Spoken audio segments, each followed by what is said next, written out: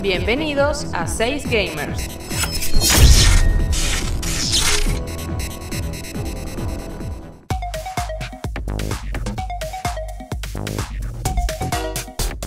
¿Qué hubo mundiales? 6 Gamers les trae una nueva guía del juego sensación del momento Genshin Impact, esta vez para hablarles del sexto día del evento de Bazar de las Maravillas y qué pueden esperar del mismo, así que empecemos.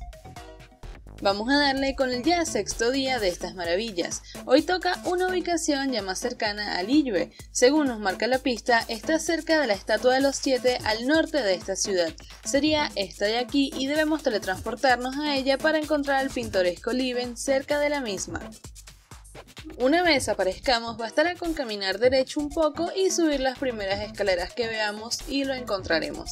Hablamos con él para que nos dé otra de sus tortuosas búsquedas y esta vez se tratará de zanahorias, que si bien ya son un poco más difíciles de encontrar, tampoco son nada de otro mundo. En lugares como el viñedo podrán encontrar muchísimas de ellas.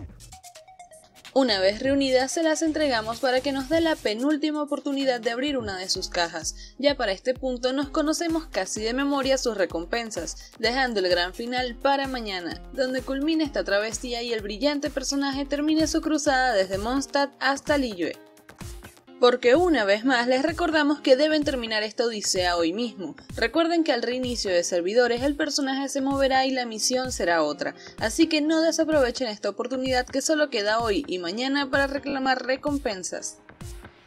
Con esto terminamos esta guía. Si les quedaron dudas o quieren alguna otra de alguna misión o aspecto del juego, déjenlo en los comentarios o vayan a nuestro Discord para de paso poder conversar. Está en la descripción. Síganos en todas nuestras redes sociales y nos vemos en el siguiente video. Hasta la próxima.